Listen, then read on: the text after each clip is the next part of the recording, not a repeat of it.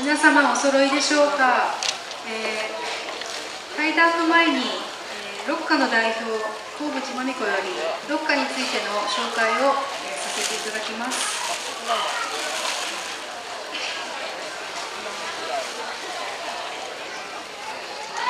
皆様、えー、お集まりになりましたでしょうか？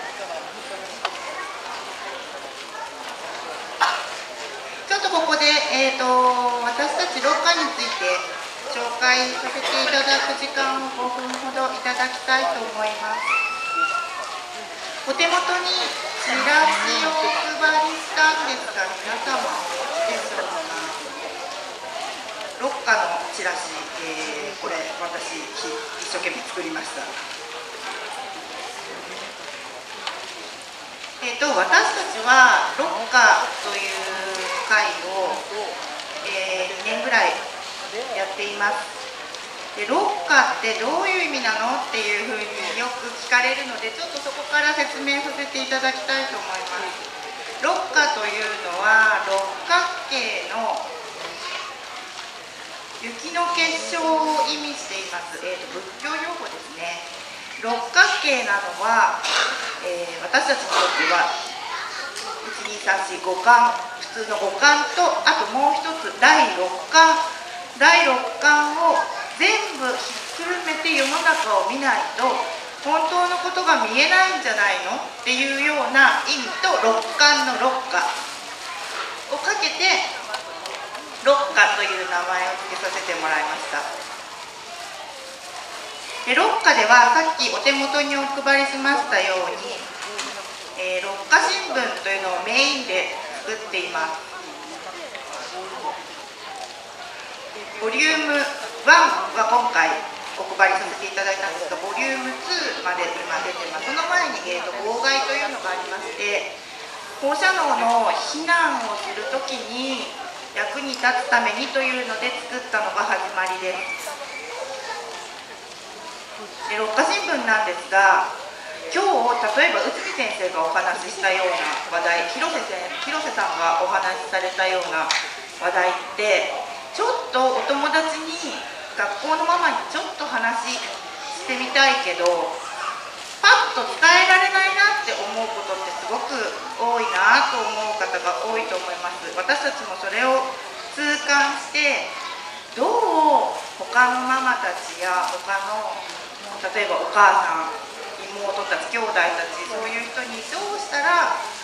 えー、パッと問題を伝えられるだろうという意味を込めてパッと渡せる新聞を。あすいません。パンは会場では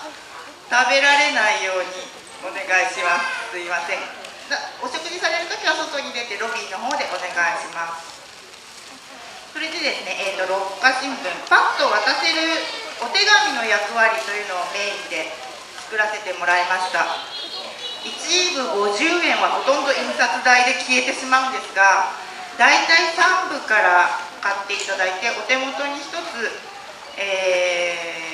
達とかお母さんとか理解してもらいたい人にパッと渡していただけたらいいと思います。内容はちょっと今お話しする時間がないので省きますがどこで気になるかわからないということでさまざまなことを書いてます。えーと、それからチラシの裏側、えー、あちょっと待ってくださいね。表側。性犯罪被害セルフサポートルーチェというのも別の、えー、ロッカーの、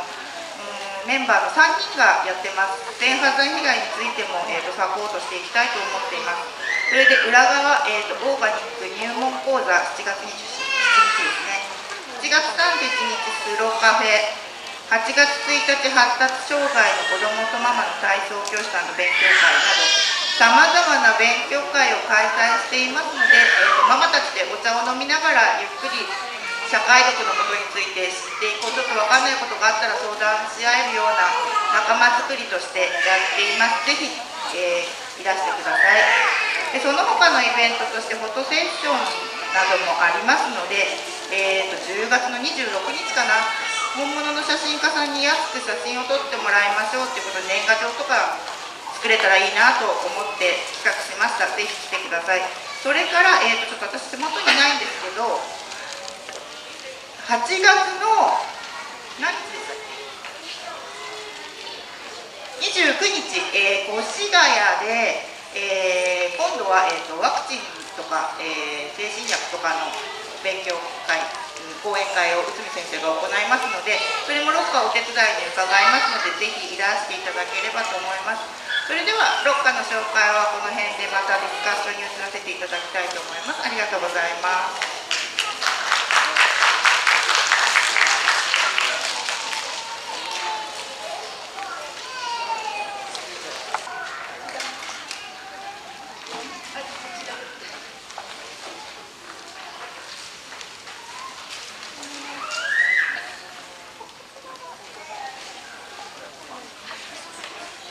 パンが売り切れておりまして申し訳ございません。4時から販売いたします、えー、なおあのネット通販もやっておりますので、えー、ネットをクリックしてみてください。以上お知らせでした。はいそれでは対談を始めさせていただきます。えー、最初のテーマなんですがあの今日はお子様連れのお母様方も多いのであの今までの話を聞かれてあの社会の意識とのギャップとか特に学校教育の中であの、まあ、学校給食ですとかどうやってあのそのギャップをあのご自身で乗り越えていくのかっていうことがあると思うんですけれどもあの、まあ、先生方のあのお考えやこれまでのあの対処の仕方なども含めてあの皆様にお話しいただければと思います。あのテーマはあの給食でもいいですし教育そのものでもいいですのであのよろしくお願いします。じゃあどちら広瀬先生お願いいたします。え先生ではないです。パン屋の親父でございます、えー、昭和29年に学校給食会というものが発足されました。この学校給食会というのが、えー、当時占領軍にありました日本の、えー、小麦粉そして脱脂粉乳ですね。当時で言えば小麦粉も脱脂粉乳も後藤粉つまりアメリカ本国では、えー、豚も食わないというようなものを、えー、学校給食会が配布町のパン屋に配布し、えー、そしてそれをやって、えそれでパンにしてきたものえそのとその延長線上として、えこのえ発酵促進剤とか、え添加物が出てきたわけでございます。でそのように歴史があるというふうにでそれであの戦後もう70年から経とうとしている時に、えー、この状況はどんなもんであろうかと、えー、要するに学校給食なんかやめちまえというふうに思っているのが私の持論でございます。以上です。ありがとうございます。給食ですね。給食の話するとなんかパンがダメだって言ってしまいそうな気がしてなんかあれなんですけどまあ、今、あの給食あのどうしてもまだパン食が多いっていうのがあると思うんですけど、まあ、全国のその給食運動っていうのはあのそれに対する一つの反対運動っていうことでもあると思うんですね。給食の話していいのかなとか思っちゃったりとかしたんですけどあのまあ、例えばいろんな本あります。大塚光さんの本とか有名ですけれどもあの和食とかを導入したりとかすることで学校のその給食が良くなったとかっていうお話とかありますしそれはそれで僕もあの分かるのは分かるんですけれどもただですね給食の問題以上にあの話を、ね、する時に、え例えばね Facebook だと有名人だと誰だったかな岡本頼孝さんっていう方のあのパンを作ってる自然農の職人の方いますけど僕もよく講演一緒にしたりするんですね。でまあはっきりとこう言われるんですよ。もうね今の人たちみんなね米だけ食べれます？って言われたらなかなか難しいと思うんですね。僕だって別に洋食もよく食べますし、まあ、それはもう多分ずっと何十年もやってるから変わらないと思うんですね。だからその、まあ、給食をなくすっていうのはも僕もあの素晴らしい考えだとは思うんですけれどもそうじゃなくて給給食だったら給食こそちょっとねもうちょっとまともなメニューにしてくれと。でちゃんとね統一させてほしいんですね。僕は思うのは。えー和食だったら和食でそういう風なメニューでねあの統一してほしいしその質もちゃんとこだわってほしいし子供の給食に金かけないそこに税金かけないどこに金かけるんだっていうのがあると思うんですけどそうじゃないんですね。で逆に言うと洋食のメニューが出た時には洋食のメニューでちゃんと統一してほしいんですよね。でそれを知るっていうのも多分子供にとっては一つの教育だと思うから僕はそこまで税否定はしません。ただパンと酢豚と牛乳が出たりするわけですよ。ね。僕らは昔の30年前時でもそうでした。ね？ね？カレーカレーが出てそのカレーの後に何ついてたかな？なんかよよくわかんない全く別のものついてたりしましたけどね？あとはだからブルーベリーのパンとね？魚のね？あのなんか焼き物とね？それとだからなんかそのなんか全然また合わないものみたいな。そういうの出たりとかしてましたけどそんなのでその食育も減ったくらいもあるわけないですよね、うん、だからそういうふうなことでその給食っていうのは考えててもらいたいと思うしあとは毒物をやっぱり入れないっていうことですよね、はい、それでやってほしいと思うので、まあ、そういう意味でやっぱりあの学校に行かせてるお母さんたちがタッグ組んで学校とかね給食の人たちとあのちゃんと交渉というかですね圧力をかけてほしいんですね。それが一つの市民運動というかそういう類のものだというふうに思いますけど。はいそんな感じでどうでしょうか。先生他にはえー私の実家がパン屋だパン屋なんですね。で私の実家がパン屋で私はいわば学校給食会のおかげで、えー大学まで出させていただいてでまたあの今、えー他に3人の兄弟がおりますけれども、えーその3人の兄弟も大学まで出させていただいたと、えー学校給食会には、えー裏切ることができませんがあえてあえて言うのならばせめて今内海先生がおっしゃったように和食は和食洋食は洋食のメニューの統一感を出していただきたい。私が、えー小学生ぐらいの時には、えーハムカツとコッペと脱脂粉乳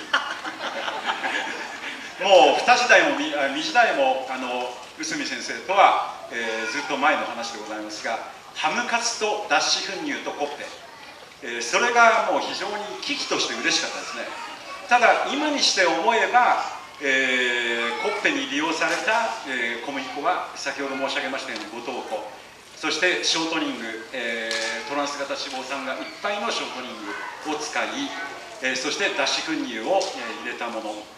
のパンなんですね。で驚くべきことはあの学校給食会が学校給食のパンに関してですけども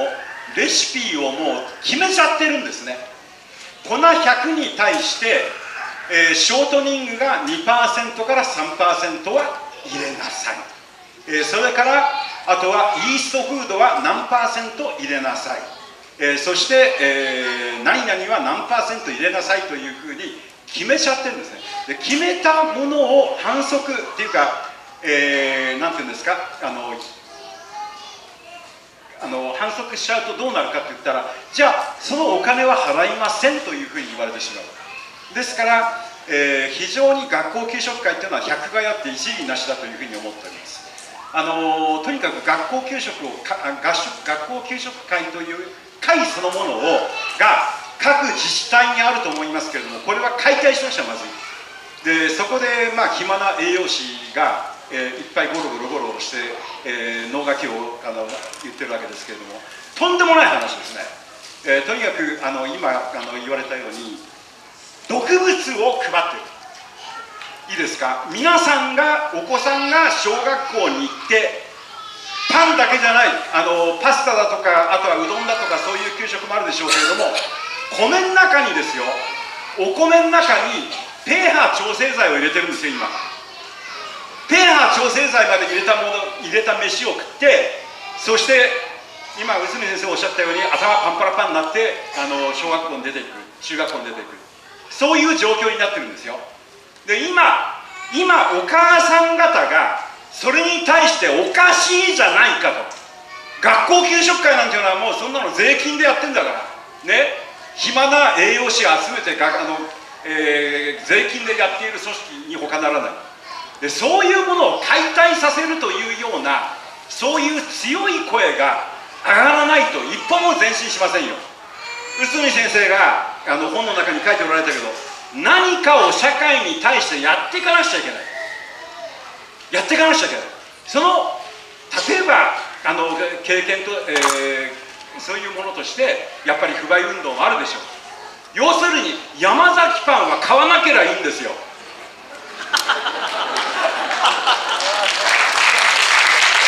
第一パンを買わないでください。山崎パンを買わないでください。買うんだったらリスドールミスのパンを買ってください。以上です。あの給食の話とそれかもしれないけどあのなんでしょうね。あの結構パンあの外で食べてもた食べますよね。パンとかパン食品。あのマクドナルドはダメっていうぐらいは分かってるんだけどみたいな人いますけど気づいたらモスーガー行ったりとかね。でももうネタ振ってるようなもんですけどねこれね半分ね。あのそれもどうかと思いますよ、はい、そのパンもね素材悪かったりとかいろいろしますからあんな大量生産してるんですからね。で他にも例えばあのこれも本当にネタ振りですけどあのフレンチとかイタリアンのレストランとか行っても1キロパン置いてあるとことかいっぱいありますのでだからそこに行って逆に言うとイタリアン行ってご飯食べてたらおかしいですよね、まあ、リゾットは食べてもいいかもしれないけどそういうところもそういうパン一つとっても他のものもそうですけれどもどういう作り方でどういう毒はね入ってないものをそこでも食べれるかどうかっていうことは非常に大事なことだと思うんですけれども実際のところ商品表示とかそういう作り方とかがもう法律上も全ていい加減になってますのでだから皆さんちょっとお金出していったところでそれもまた実は日本では結構毒が多いというふうになってるところもありますのでそういうとこまでね給食じゃないですけどねちょっと含めてやっぱりあの市民全体で考えるようになった方がいいと思うしあの細かい人とか多分味が分かる人っていうんですか僕ねあんま分かんないんですよ。うちも嫁にいつもバカにされるんですけどあの分かる人はもう高級料理のお店に行ってもそれで何か入ってたら分かりますよ。はいもう味あこれ何か入れてる。分かりますので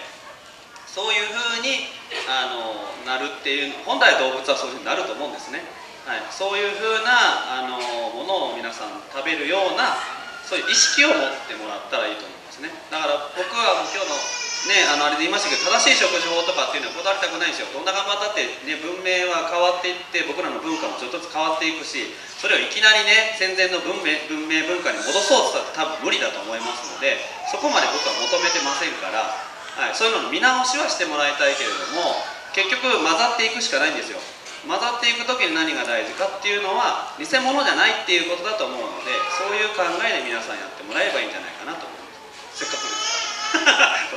えー、今お話に出ましたマック、えー、そしてキングスバーガー、えー、それからあとはあのそれらのものは今第一パンが一手に製造しております、え先ほど写真が出ましたね。えー、プロピオン酸、えー、もしくはソルビット酸をいやたくさん入れた、えー、第一パンが製造しております、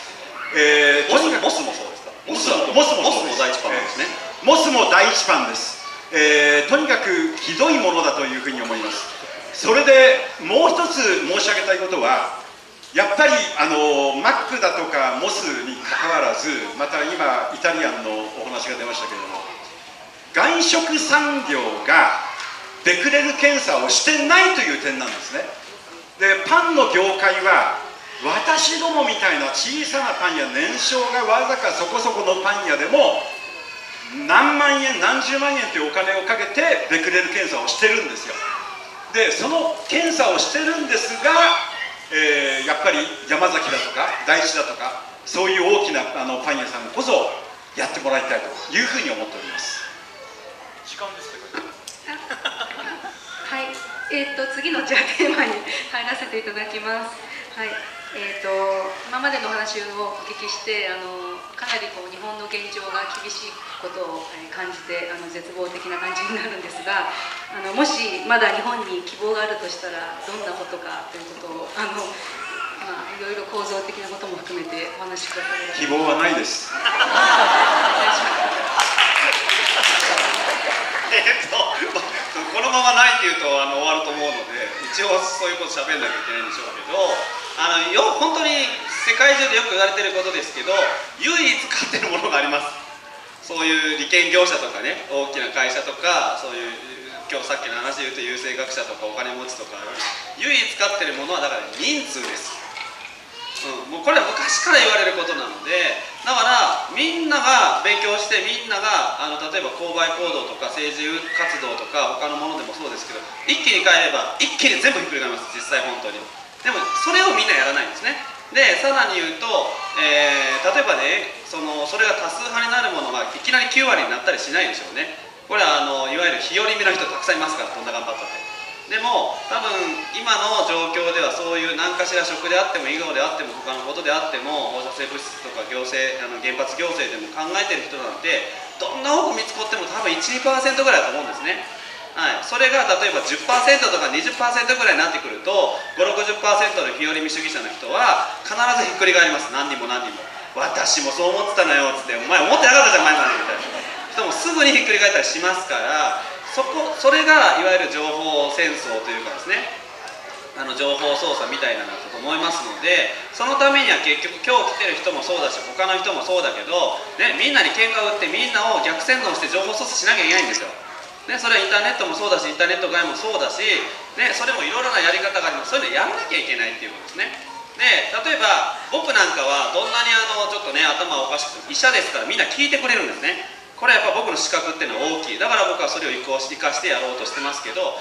例えば一般の方々言ったって聞いてくれないことありますね。そういう時どうするかって言ったらだからある意味いろんなやり方別のやり方が話し方一つとっても違うし、ね、自分が知ってても「ね聞いた聞いたも今日初めて聞いたんだけど」みたいなそんな言い方しないといけない。簡単に言うと。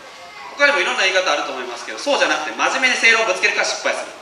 であとは権威に従属したい人が多いですから権威に従属させてあげなきゃいけない。だから逆の言い方すると逆権威をぶつけなきゃいけない。あとはもう一つは実感させなきゃいけない。実感させなきゃいけないっていう時は例えばあのこういうパン屋さんでもそうだけど行ってみてうまいって分からせればいいんですで一緒に行って買いに行ってこれわ分かせばいいでしょ。でこれすっごい美味しいでしょっていう話になったらなんで美味しいの？って話もしなったらなったらこういう話なんだ。そこでもう興味持って引きつけたらもう勝ち。ね、あーって言ってもう逆に引きつけなきゃもうもうだから釣りです逆に釣りです、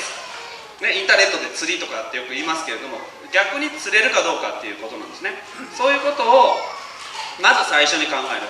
今の状況ではだからお金の問題で何か動いたりとかしませんからそういうふうなだからその国レベルでもそうだしその世界レベルでもそうですけどそういう人がいかに増えるかと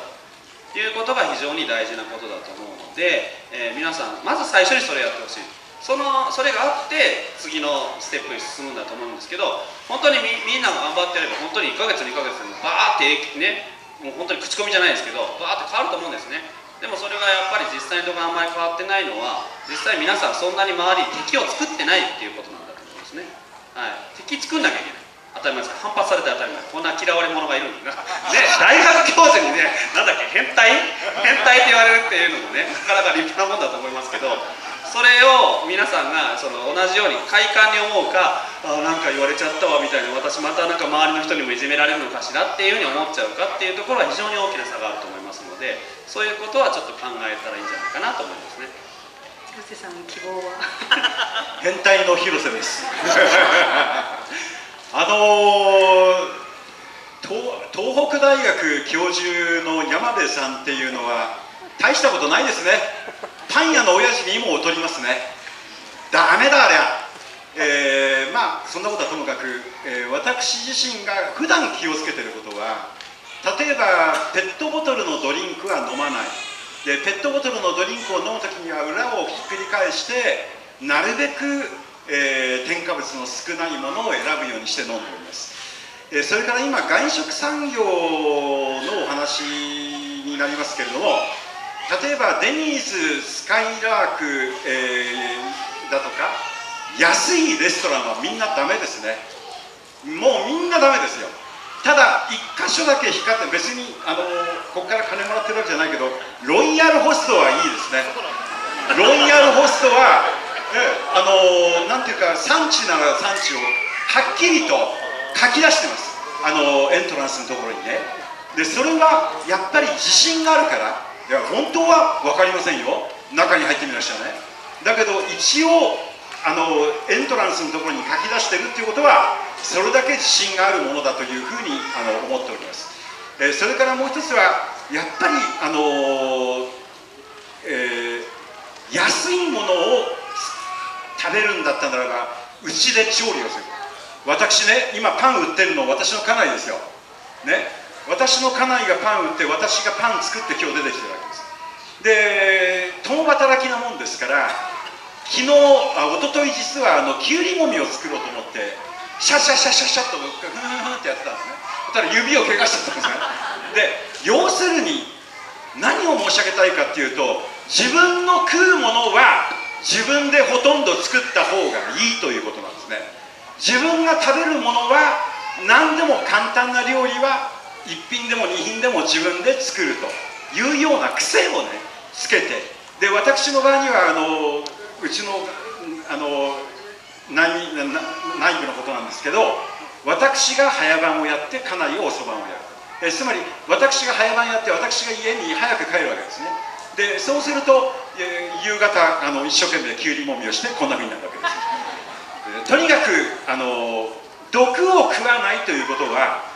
要するにあの本当に大変なことですがただ今先生がおっしゃったように一人一人が言い方を変えるまた考え方を変えるではなくてやっぱりあの1人が10人の力を持てばいいと思うんですね。たとえ1%の力でも10%の力になりますよ。嫌われていいじゃないですか。変態って言われていいじゃないですか。腐れ下道って言われていいじゃないですか。自分が正しいと思ったことを一生懸命やるんですよ。それが64歳のこの男のやり方です。はい。ありがとうありがとうありがとうありがとうとにかく一生懸命やると一生懸命1%の力でも10人分騒ぐということが肝心だと思います。本当に脱原発です。以上です、ちょっとあの、ロッカの担当の小渕が質問があるということすいません、いいですか？ちょっと突拍子もないことを言い出す、言い出したなと思われるかもしれないんですけど。えーと、これから先、何年後に日本は戦争になると思いますか？私言うんですか？えー、広瀬さん言うんですか？いや、僕は分かりませんけど、あのネットに書いたりとか、よく方々であの。まあ、ちょっと飲みながらとかっていうぐらいなら話することあります。根拠がないのでね。根拠っていうか根拠はあるんですよ。一応自分の中での根拠はあるんですけどあの正確な根拠がないのであれですけどあの2020年には日本王国っていうのはないって言ってよく言ってます僕は、はい、でこれは何でかっていうといくつかの理由があってあのー例えば、えーと、単純にねあの政治の問題だけでいうとあの共産党中国の共産党はあのいわゆる皆さんが分かってるいわゆるイメージする国会ありますよね日本の国会。あのレベルと同じレベルで日本国は2020年までにはあの名古屋の近くぐらいまでは中国領になるっていうふうにもうすでに決めてます。すでに決まってます。中国は勝手に決めてるんですよ。それは中国の国策としてすでに決まってることなんです。でこれって当たり前ですけど中国は個人で決めてるわけじゃないんですよ。でしかもねなんで名古屋までか分かります？皆さん。こっち逆があるんですよね。こっちどこ領か分かりますか？政治考えれば分かる。これ日本ないわけだから。ねまあ簡単に言うとアメリカ領だってことだと思うんですけれどもそういうふうな構想を練ってるんですね。まず第一。これは単純にあの表に出てきてる文章とか表に出てきてるものの中でもはっきりしてることです。他にもですねちょっとこれはあのアンダーグラウンドの話ですけ2020年東京の都市開発の計画っていうのは部分的に2019年までしかなかったりとかします。わかります？2019年もしかない。2020年何があるか知ってますよね。東京五輪。東京五輪の前までしか都市開発ないんですよ。その後もなんかありそうだしいろいろと計画立ててやりそうなもんじゃないですか。もうないんですよ。全部。で、あのー、過去の歴史でいうと東京五輪も1940年に予定されてたんですけど東京五輪は潰れました。その時はその前後に戦争前後というか前後ですけど戦争があったんですね。今全部同じ構図になってる。であと他にもですね第二次世界大戦の時にはあの IG ファルベンという非常に有名なですね今でいうとバイル社とかあの BSF、えーと、BASF とかっていうそういう会社に分かれた非常に有名なケミカル会社だったんですでこれもだからそれモンサントとかの息が流れてるそういう会社と思ってもらえば結構ですけれどもそういうふうなか、ね、ケミカル会社が政治家のあの後押しを一番してでそれでそのその国のトップに立ってっていう風になった時に戦争が起こるっていうのはこれ基本的に同じ構図なんですね。で今経団連ってどこの会社か知ってます？皆さん。あれケミカル会社ですよ。あのヨーダみたいな顔してるやつ。いますけど。だからこれが今だから TPP を推進してるのもだからその自民党の応援してるのも全部ちゃんと共通してる話なんですね。だからでそれの流れがあってで、まあ、小渕さんとかはそういうので今集団自衛権とかですねいろんな問題があるからそういう質問をしたんでしょうけれどもそういう流れがあってだから集団的自衛権をここに持ってきたくてでその集団自衛権が閣議決定されたら速攻みんなの、ね、高校生とか中学生のところに自衛隊のねあの募集要項がバーッと流れてくるでだから徴兵制にいきなりできませんから、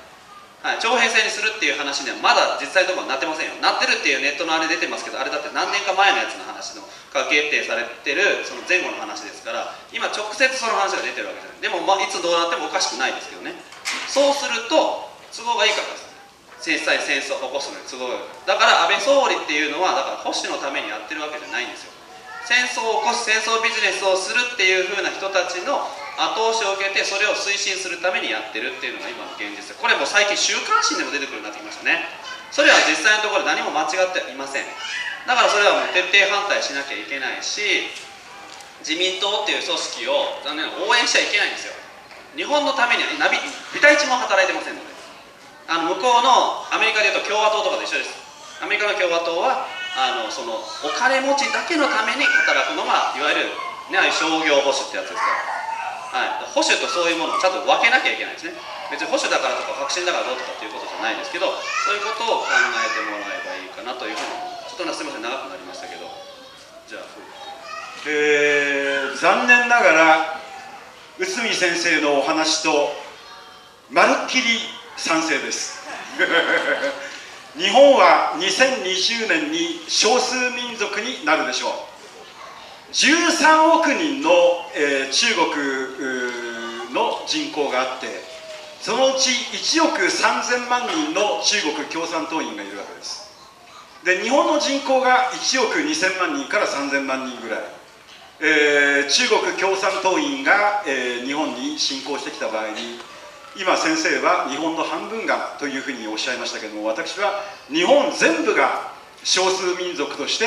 今の、えー新疆ウイグル自治区チベット自治区になるんじゃないかなというふうに懸念をしております、えーとにかくあのーまあ、一切根拠はありませんけれども言って本当はあるけど、え根拠はありませんけれども、えー私はそのように懸念をしております、えー一人一人が、えー日本人であるというような結束のもとに、これもますます声を上げていかないと、えこの数年のうちに大変なことになるというふうに思っております。以上です。あのちょっと政治の話で言うとあのちょっとねあの勉強した人ならあのその集団的自衛権とほら個別的自衛権っていうのの違いとかってよく出てきますけれどももし日中がか戦争をそのまま起こすという過程であればそれ一応ね話としてはいらないはずですね。直接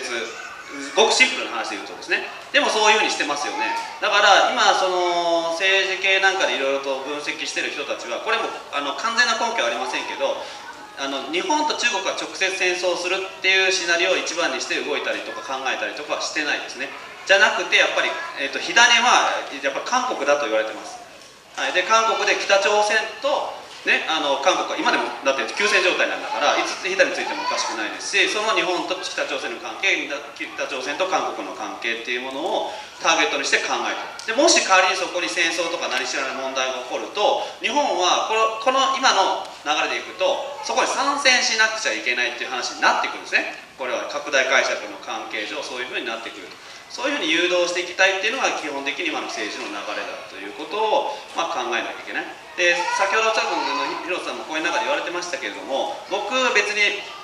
アメリカもイスラエルも嫌いだしヨーロッパも嫌いだしその韓国も中国も嫌いだし日本人も嫌いですけれどもでも韓国人にもいい人たくさんいますし親日の人もたくさんいます。中国でも親日の人もいる戦争を起こしたいない人もたくさんいるんですね。そういう人とちゃんとタイアップしていかなきゃいけないし中国人はどんな頑張ったって中国人が一番っていうに決まってるんです。そこはちゃんと理解しなきゃいけないのがそれは外交。で韓国人は絶対韓国人が一番いいっていうし韓国の文明が文化が一番いいっていうに決まってるんですよ日本人は日本人の文化が一番いいって言えばいいんですよね。でもそれを認め合ってでそれ隣の県とかねそれと同じでどういうふうに付き合いをするかっていうことでちゃんと、ね、割り割り切ってじゃないですけどちゃんと仲良くできるのが本物の外交ですね。でもそうじゃないです。今は煽ってるんですよ。煽られてはいけないっていうことは覚えておいてもらった方がいいですね。それに煽られちゃったりとかすると本当ネットウェブとかと全然レベル変わらなくなりますからどんどんどんどん逆に自分たち戦争に引き込まれるっていって自分たち戦争を実は支援してるのと同じだっていうこともちゃんと考える必要がある。外交っていうのはそういうもんじゃないっていうことも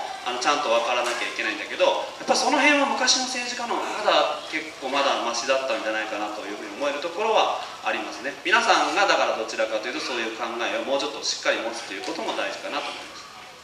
はい、ありがとうございました。最後に質疑応答の時間とさせていただきます。えこれまでの話を聞いて、ぜひ先生方にご質問されたい方は、あの挙手をお願いいたします。自分の家族にも今その最近自分が知ったばっかりなのでショックを受けてこう本当はこういうことらしいっていうのを今ちょっと真正面からぶつけてしまって 結構なんか周りとかにびっくりされたりとかあちょっとやり方をもっと考えてやっていかなきゃいけないなって思っている段階なんですけどなんだろう先ほどもちょっと例を挙げてこういうふうに周りの人に広めるっていうふうにお話ししてくださったことがあったと思うんですけどなんていうかもう少し具体的にだったり他の方法とかをちょっと自分でも考えなくちゃいけないっていうのがあるんですけどなんかスーパーとか行ってこう裏面とか見てるとなんか周りに「えー!」みたいなリアクションされたりこっちも「えー!」ってなったりとかっていうのがあってこう大事にした人と今ちょっとこううまくいかなかったりとかっていうのがあるので長くなってすいませんアドバイスいただけたらと思います。はい、あのもうい一番というかしょっちゅうよく聞かれる質問なんですねこれってであともっと言うと家族が薬飲んでるけど薬やめろっつってもやめないとかね。これも非常によくある話ですけども。まあねあの 最終的に聞かなきゃほっとくしかないんですけれども。あのそういう人たちはあのなんですかね。やっぱりね権威に従属したいんですよ。長いものに分かれてたいっていうのが基本的な発想なので一番大事なことはね逆の権威というかそういうのをぶつけるっていうことをしなきゃいけない。家族が言ってもどどんなに正論を吐こうが何しようが無駄なんです。理解されたいという願望を自分自身が捨てなきゃいけない、はい、でもその時にだからほら男を手のひらで泳がすのと一緒。はい、どう踊らされてね分からせればいいかってとこまで考えなきゃいけない。であとそのさっき言った権威にね逆従逆従属させる。だから例えば家族ねここに例えば来ればねあの家族が例えば同じこと言ってても「お前何言っててバカじゃねえ」とか言われててもそれでねここに来たらその後にね「ああいやあのねなんとかかんとか」ってこうなんか全然違うこと言ったりとかするようにやっぱなっていきますが実際に家の中でそう言うともうその長いものに巻かれたいからそういうふうな発想はね聞けない。でこれ大体家族で普通に口喧嘩しててもそうですよね、はい、だからそこれそれは別に一つに限ったことじゃないですよ。本を読ませるのも今ありかもしれないしあとよくあるのはね新聞でも最近新週刊誌でもちょっとずつそういう話が出てきました。そういうのはチャンスだと思わなきゃいけない。チャンスだと。はい、最近週刊誌なんかで添加物がどれぐらい危険かっていうことなんかの記事がたまに出てくるなってそういうの僕ね大体チェックしてます。あの電車とか乗ると。おお出てるとかって思ったりしますけどそういうのみんなチェックしてないんですね結構、うん、でそれチェックしててその記事の中身は、まあ、比較的まともな書いてる時もあるんですよ。うん、そういうのを利用すると同じように自分が言っても聞かないけど週刊誌の ね「週刊新潮」だ「週刊文春」だっていう話だったらあのもう大した週刊誌じゃないけれどもでもあれを読んだりとかするんですよね。そこで疑問に思わせたら勝ちですねやっぱりね。そういうふうに自分じゃない人間からそういうふうな声が出てるっていうふうに伝えるというかこうそれ踊らせるというかそういうアプローチをするというのが非常に大事なことでそうじゃないとね痛い目見て見てない人は要するに病気になったりとかアレルギー出たりとかなんだりしてない人はなかなか受け入れられないっていうのが今の現実だと思います。それぐらいみんな刷り込まれてるから、はい、だからそういうところから僕は始めればいいんじゃないかなっていつも大体基本は言ってますけどヒロさんこういうのどうですかあのお一人お一人の心の中には、えー、なんていうんですかあの例えば今薬を断つというような気持ちまたもしくは脱原発についてもそうなんですがお一人お一人の気持ちの中には程度の差こそあれやっぱりある方にとっては数パーセントかもしれないしある方にとっては何十パーセント何割かもしれないけれどもそういう気持ちは必ずやあると思うんですね。でその小さいパーセンテージの部分を、えー、膨らませてあげるということが非常に大事なことだというふうに思います。以上です。ありがとうございます。あの広瀬さん、あのうちの近所のそ近所にワンちゃんがいましてね、そこのワンちゃんが山崎パンの一番高いのしか食べない餌であのそのワンちゃんがどうなったかっていうと飼い主の方がおっしゃったのはうちのワンちゃんは気が狂っちゃったのよ。くるくるくるくる回るんです。結局脳神経をやられたんだと思うんですけどやっぱりあの体に悪いものは小動物からあの影響も出てくることですからあの今日お子さん連れのママたちがいらしたことはとっても私嬉しく思いました。やっぱり小さいお子さんを守るにはあのお母さんだし家族だし。でそれともう一つあの私コンビニ食が腐らないって話聞きましたので、えー、おむすびとそれから幕の内弁当1ヶ月写真撮ったんです。腐りませんでした。匂いもありません。コンビニ食を使ってる方いっぱいいらっしゃると思うんですがやっぱパンと同じように皆さんその辺りもしっかりと考えなければただ便利ただ美味しいでは私たちの命は守れないと思いますけどいかがなもんでしょうか？全くおっしゃる通りだと思うんですね。で今美味しいという言葉がございましたけれどもおおむねはあのアミノ酸によって私たちの舌が騙されている。それから今先ほど内海先生のお話にありましたようにアスパラテームだとか、え、それから新しい、え、そういう、え、薬によってあの保存料だとか添加物によって私たちの薬あの私たちの味覚が騙されて騙されて騙されてそれが遺伝子となって刷り込まれてきてるというふうに思うんですね。あの私仕事の関係でドイツには何回となく足を運んでるわけですよ。一番多い時は年に2回ぐらいドイツに行ってまいりました。一番びっくりしましたのはフランクフルトからあの近くにあるマインツという町にの近くにベーリンガー・インゲルハイムという村があるんですね。ベーリンガー・インゲルハイムというのは先生ご存知でしょ？ベーリンガー・インゲルハイムというのはデパシアなんかを作っている製薬メーカーです。ベーリンガーベーリンガー・インゲルハイムベーリンガー・ベーリンガーと言っております。そのくらいあのドイツというのはケミカルがあの土壌なんでしょうけれどもものすごい大きなあの土地それから大きなスペースをえ買いあさってるんですね。でそのくらいやっぱりあのじゃあ何の資金で買いあさってるかって言ったら我々の資金から買いあさあの我々が出すお弁当代我々が出すおにぎり代から全部賄ってるわけですよ。またあの先生のご専門でいらっしゃるあの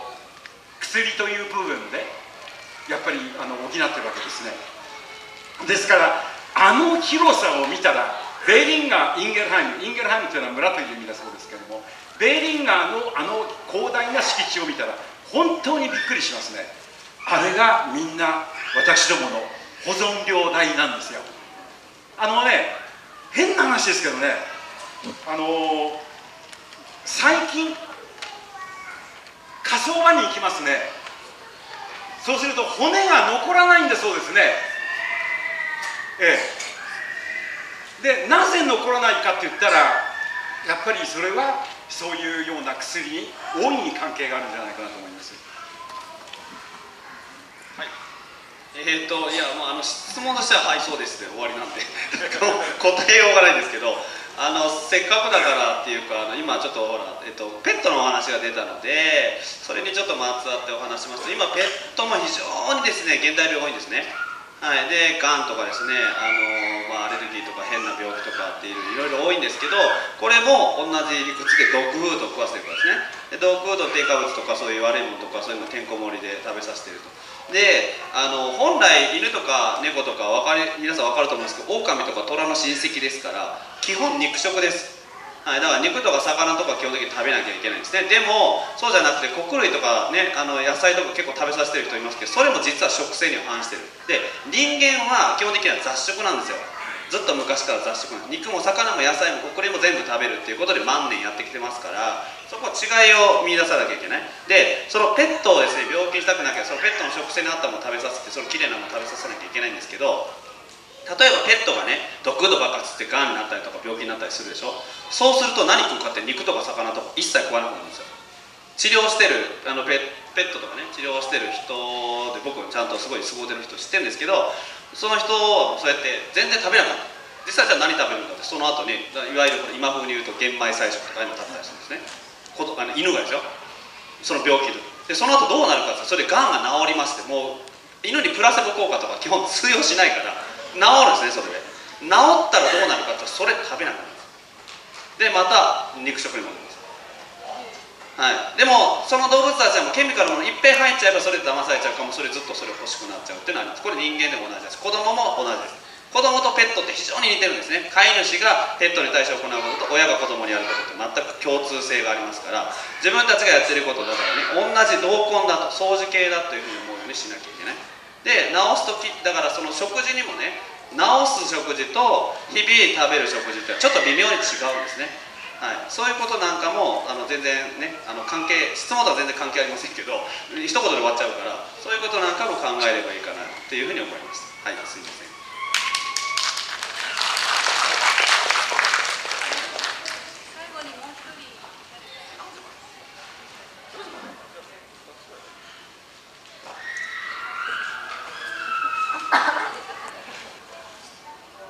質問は2問あるんですけどいいですかすいませんあのー先ほどお二方がまあ話していたことなんですけど日本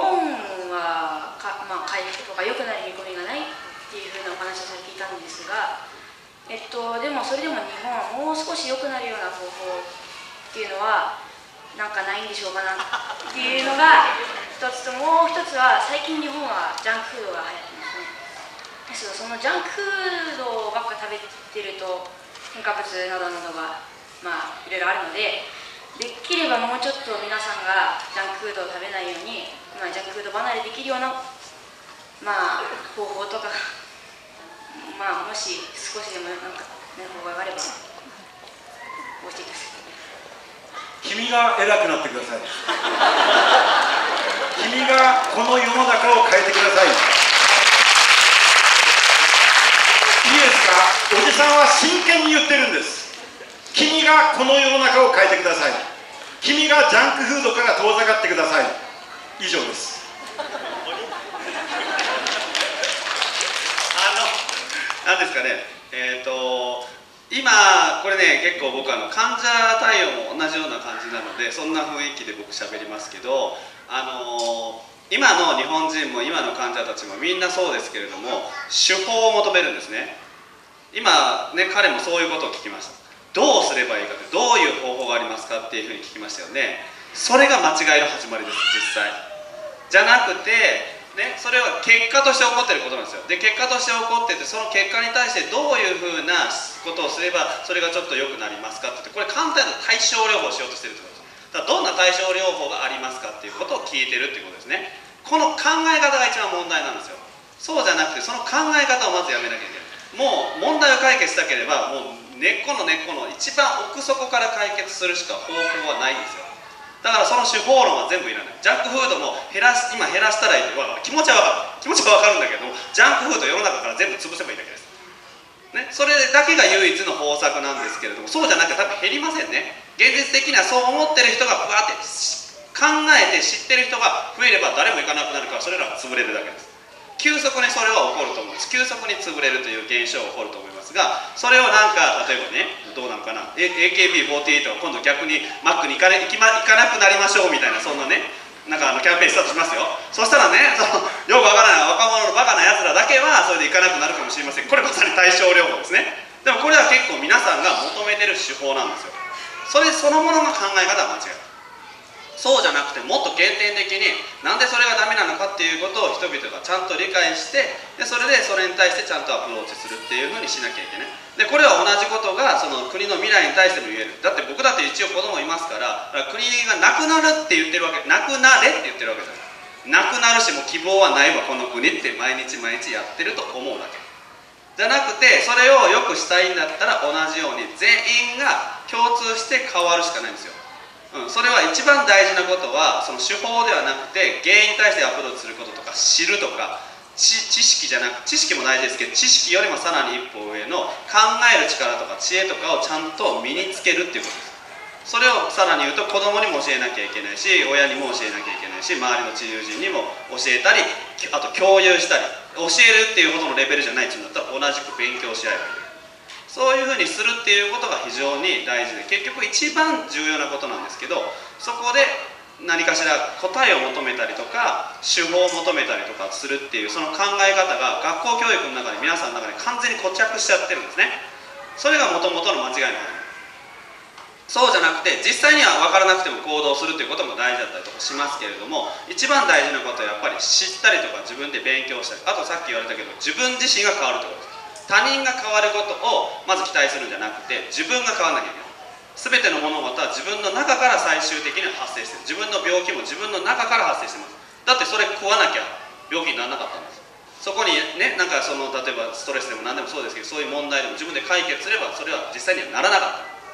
最終的には自分が中から生み出したものを隙間産業をしてくっついてくるやつがいるだけのこと。製薬会社も医学界も精神医療界も心理業界も福祉でも全部そうですけど。ね、やった美味しいと思って。食業界でもそうでしょ？アホなやつらがアホなものを食いに行くっていうのをそれをケミカルなもので釣ってターゲットする隙間産業してるだけだから自分たちが変わればそんなものに手を出すことはなくなります。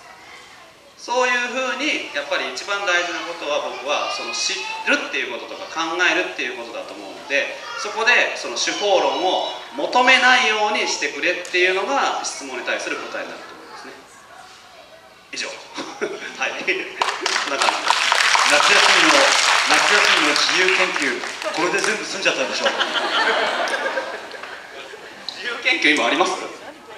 あります？自由研究でだから添加物とか農薬とかの危険性もうインターネットであの図書館行ってブワーッ調べてくれるんですよ。それみんな発表してごらん？みんなドン引きするから。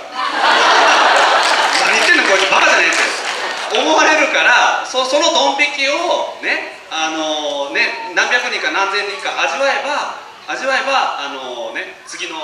あのステップに進めます。はい頑張ってください。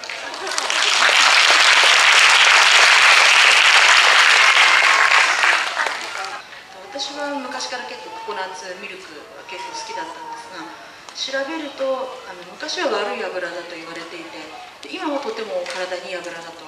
なんか宣伝してるような感じがあるんですが実際どうなんでしょうか？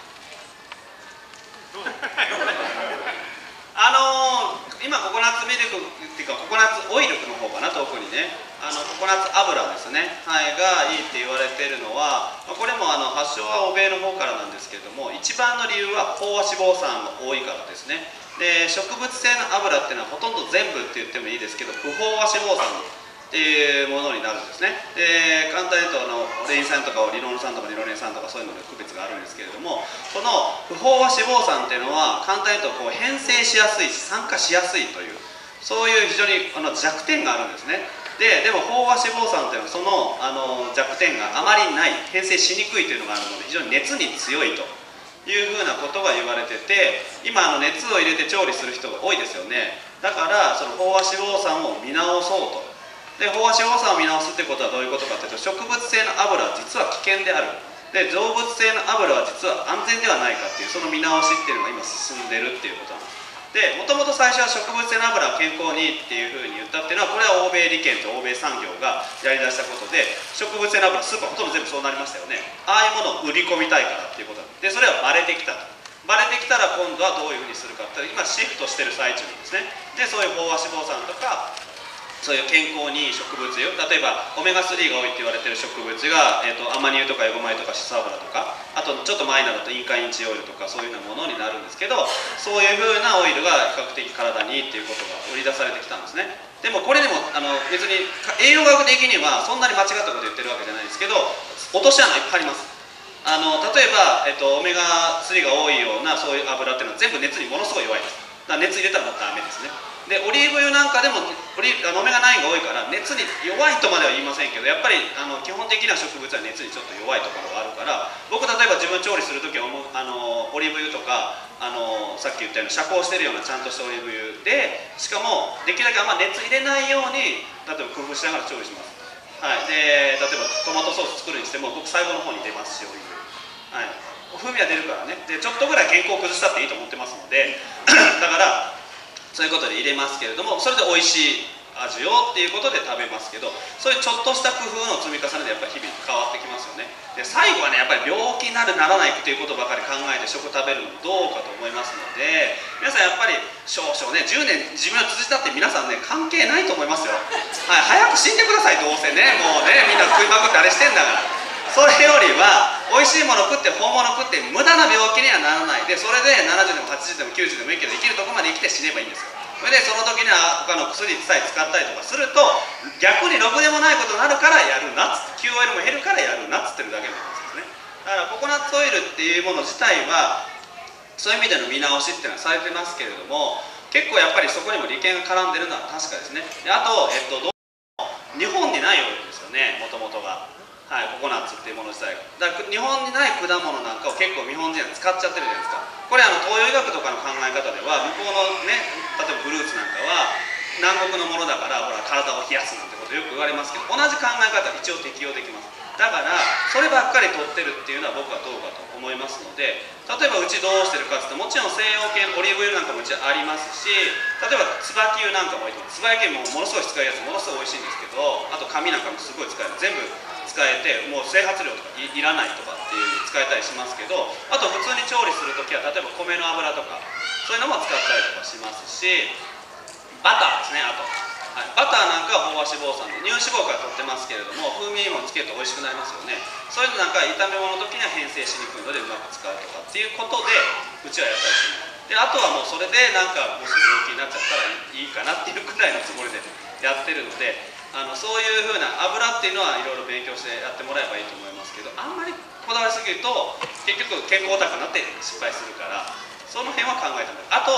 あの今日の講演で言ってた話だとだからそのレベルのねもんあの話とは違うレベルの問題として存在してるのがまさにトランス脂肪酸なんですよ、はい、それはもう全然違う。毒性が違う。で今植物油で普通にスーパーで売られてるものだったらキャノーラ油とかコーン油とかはもの絶対やめた方がいいです。ひまわりもこれも全部遺伝子組み換え食品で使われてますし非常に高海酸化したものが入ってたトランス脂肪酸多く入れられてますからこれでもうね例えばあの炒め物とかやるっていうのは もうますます毒にしてるだけだからそういうのはやめた方がいいと思いますね。だあとパンとかで言えばオリーブ油をパンにつけて塩つけて食べるとかね。あれの方がよっぽどほら低温で油食べてますよね。でパンも美味しいじゃないですか。でそうやってフランチフレンチのお店でもそうやって食べたりとかしますよねイタリアあれはちゃんと理にかなってるんですね。はい、だから全部僕は否定する必要はないと思うしそういうので、えー、いろいろとそのなんていうか知恵というかですねちょっとした工夫っていうことで美味しく食べてもらえば、はい、美味しく食べれば免疫力上がるっていうんだからそれでもいいんじゃないかなと思ったりもします。一応それですいません。振られたのでこれで締める。何かありますか、はい、ココナッツオイル嫌いです。だから食べません。バターは好きです。で今先生がおっしゃったようにあのパンやなんか召し上がる場合に、えー、遮光されたオリーブオイル、えー、そして岩塩をちょっとだけつけて、えー、召し上がるのが一番よろしいんじゃないかなというふうに思います。以上です。よろしくお願いします。はいありがとうございました。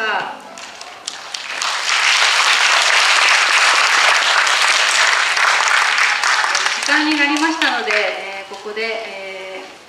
質疑応答を締め切らせていただきます、えー、本日は内海先生と広瀬先生に、えー、お越しいただきましてありがとうございました。もう一度大きな拍手をお願いいたします。